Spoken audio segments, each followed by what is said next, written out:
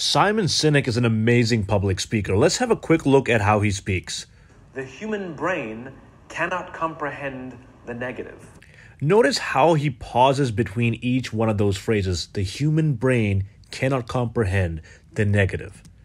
It is incapable. He uses multiple gestures too. Yes, it's true.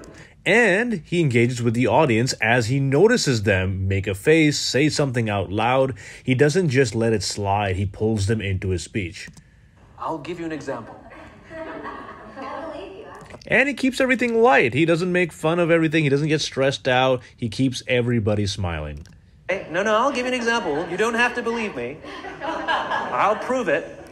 I'll prove it. Just notice how friendly his vibe is, and he is so confident about what he's talking about.